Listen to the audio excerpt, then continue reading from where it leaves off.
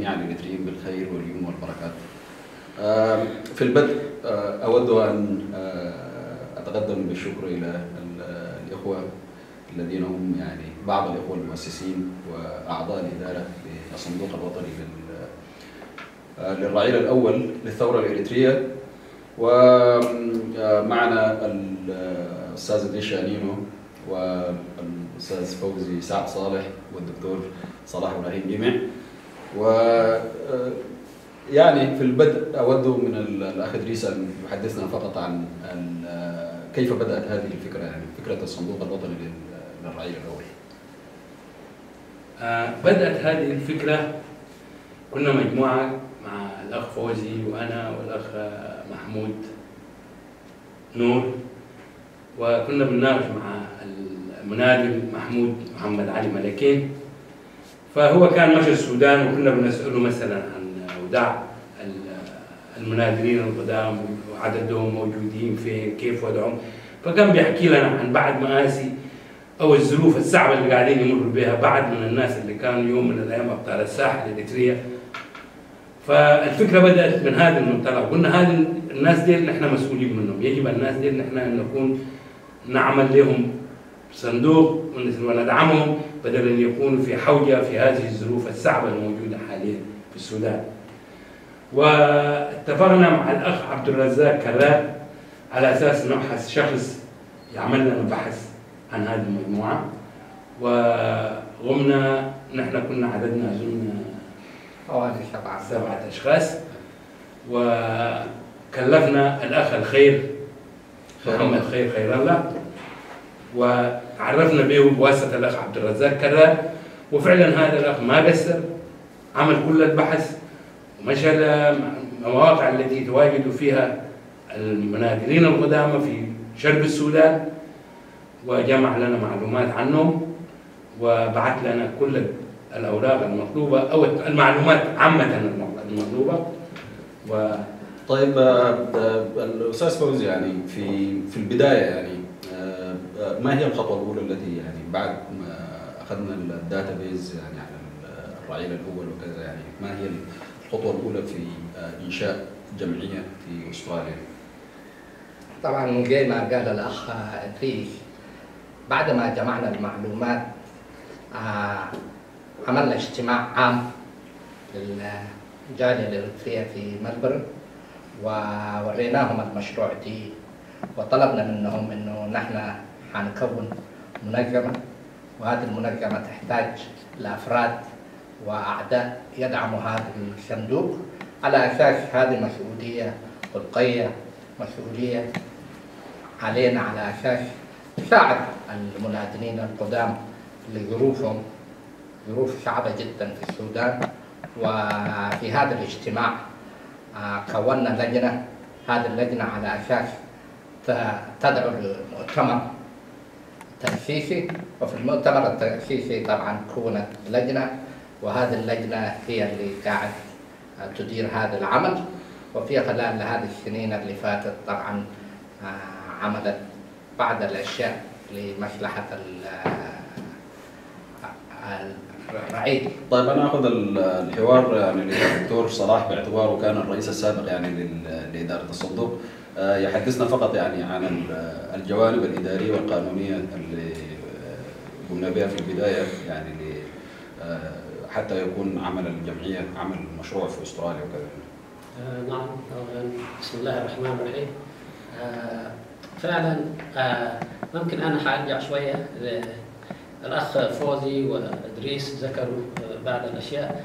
وممكن اعاود أقول في الأول إنه يعني قبل الم- المؤتمر التأسيسي كان محاولات كثيرة واجتماعات كثيرة يعني السبع الافراد دول. جلسوا واجتمعوا تقريبا وكل يمكن كل أسبوعين كنا نجلس يعني. والفكرة تبرمرت ويعني نحن بالضبط حددنا الأهداف ومن ثم يعني آه، طرحناها للجاليه الاريتريه.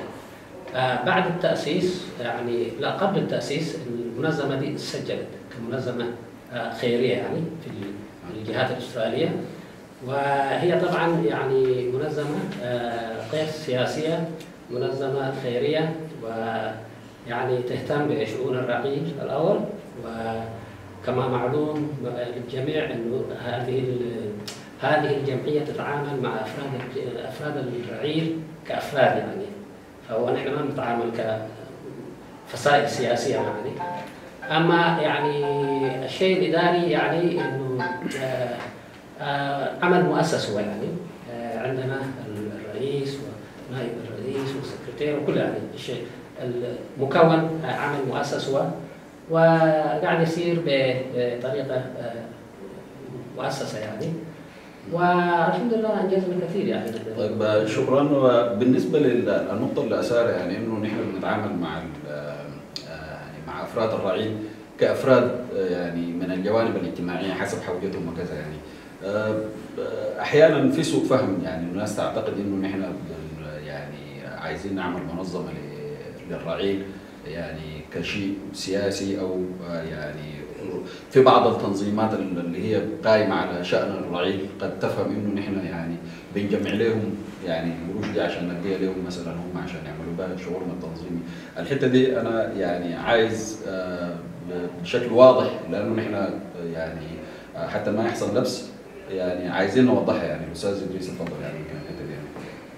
تعاملنا مع اعداء الرعيل نحن بنتعامل معهم كأفراد ليس كتنظيم ليس كمنظمه ليس كتوجه سياسي. نحن بنتعامل مع أفراد كفرد يعني. وبعدين عندنا حسب المعلومات ال- ال- البيت ذات اللي عندنا الموجوده معانا اللي جتنا من الأخ محمد الخير.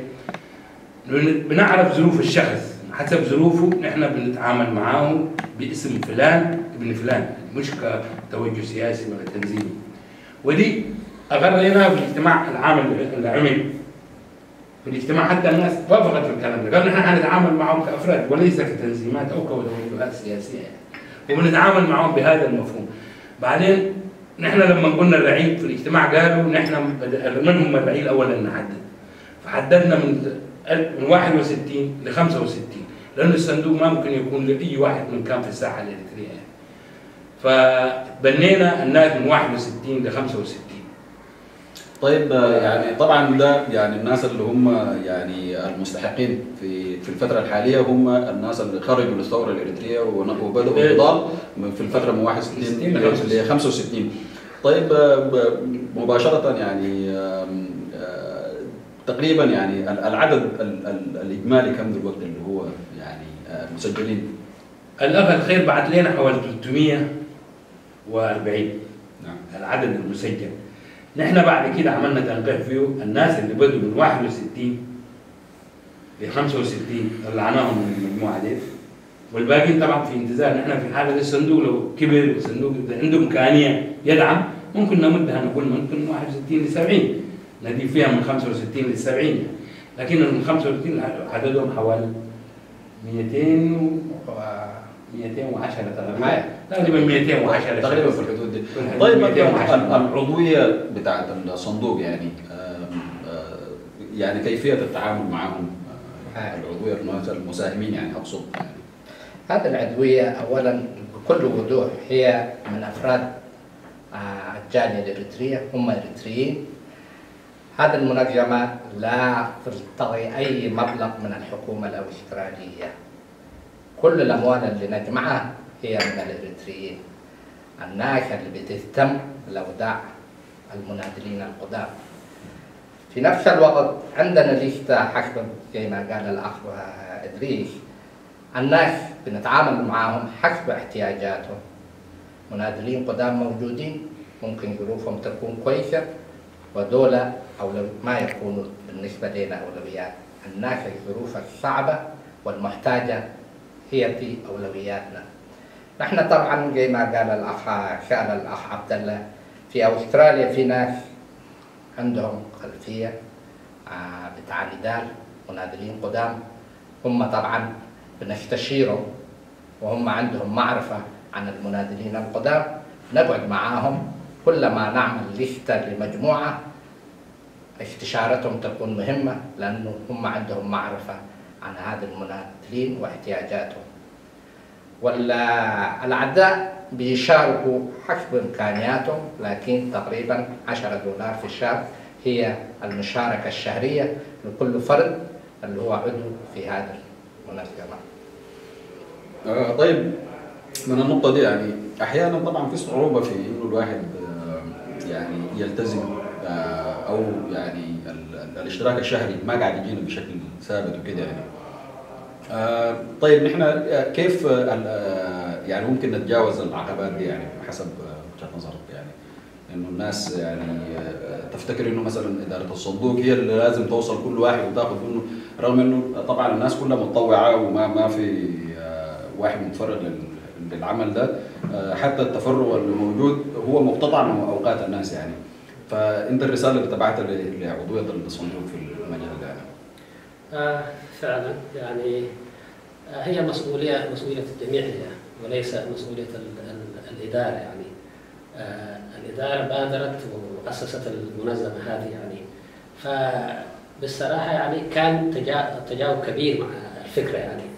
وأفراد الجالية الأريترية في ملبن ما قصروا صراحة حتى في بيرس وفي أدلت يعني. آه لأنه هي آه هدف نبيل يعني. ق- يعني قدمت كثير في مرحلة صعبة والآن يعني مجرد يعني مجرد آه، شكر يعني. فهذا شيء رمزي إن إحنا قاعد نعمله. ففي الأول كان تجاوب ما في شك يعني والناس كانت ملتزمة حتى ناس كانت تدفع مقدما يعني بتاع سنة يعني مقدمة. السنتين الأولى يعني الأمور صارت جيد يعني. بعده شوية فتور حصل يعني. وهو يعني تقصير من كل حصل يعني. يعني من الإدارة وحتى من من الافراد من الأعداء أعداء الصندوق تقدر تقول يعني. وفي مشاكل حصلت بس نحن ما عاوزين نتكلم عنها. مشاكل آه، خارج آه، إدارة- ارادتنا يعني. وهي مشاكل يعني ممكن واحد يقدر يقول في السودان حصلت يعني. فدي كمان ما ساعدت يعني. بالرغم الصندوق في الأول مشى يعني آه، مشى جيد يعني.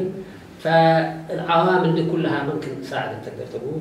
والآن أنا أقول يعني كلنا يعني بنفس الحماس نعمل يعني الإدارة والأعداء فإن شاء الله تكون مسؤولية مسؤولية الجميع والأعداء يبادروا ونحن كمان إن شاء الله ما حنقصر في دورنا يعني. آه، أستاذ إدريس يعني كان آه، في تعاون آه، في البداية وكان في اتصالات مع ال- ال- الإخوة في السويد يعني. باعتبار إنه هم كمان كان عندهم نفس الفكرة إنه يعني ينشئوا صندوق وكذا. آه، إلى أين وصلت هذه ال- ال- الحوارات ولماذا توقف التعاون؟ وكذلك يعني كان في في في مرة من المرات يعني جانا دعم من ال- ال- الكويت تقريبا يعني آه، آه، شخص. أيوه من شخص واحد يعني. طيب يعني إيش هي الفكرة في إنه نحن نوسع يعني المظلة بتاعت المساهمين وكذا؟ يعني فعلا نحن الموضوع ده جماعة السويد عملنا معاهم اتصالات. وريناهم ان عندنا برنامج بتاع صندوق ونكون نتعاون مع بعض. في البداية أبدوا استعدادهم كنا بنتصل بهم طوالي وبعد كده اتفقنا معاهم عشان نعمل احتفال بتاع تقربة ده لما كان الشهيد الله يرحمه آه،. رجالة 2010 تقريبا. أيوه. فقررنا على أساس نعمل احتفال مشترك بالنسبة لأعداء العيد والمنادلين القدامى في السودان. وتكون الدعم أو نحن نتبنى تكاليف هذا العمل.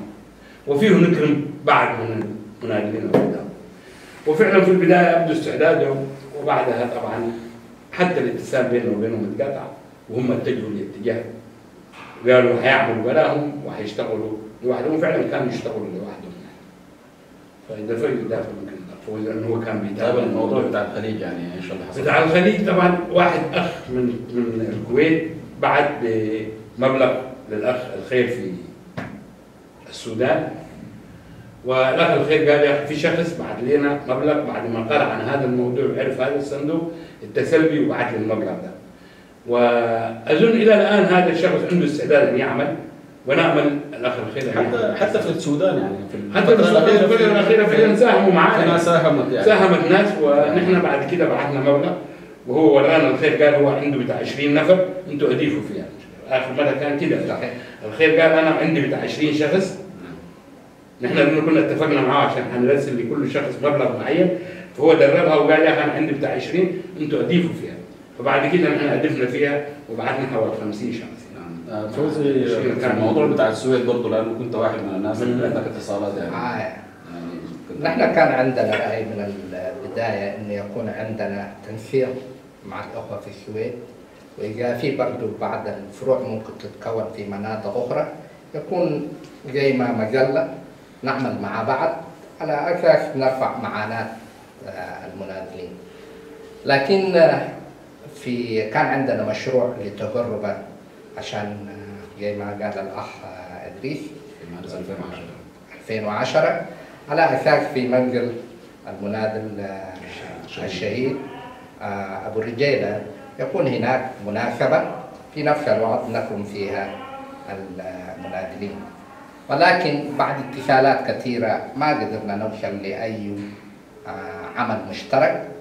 فنحن استمرينا بطريقتنا و أنجزنا المشروع. أنجزنا المشروع. ولكن للأسف الأخوة في السويد لم آه، يردوا ولا كان من جانبهم. ما كان عندهم استعداد. ما كان عندهم استعداد من جانبهم فلم نتمكن من هذه الاتفاق حتى هنا يعني ال- ينتهي ال- ال- الجزء الأول يعني في هذا اللقاء وكان معنا السيد فوزي رئيس الصندوق والأخ الشاني المسؤول المالي والدكتور صلاح هو طبعا كان الرئيس السابق وعضو الاداري الحالي وكان معكم في التقديم الدكتور عبد الله جميع سكرتير الصندوق وشكرا لكم وإلى الجزء الثاني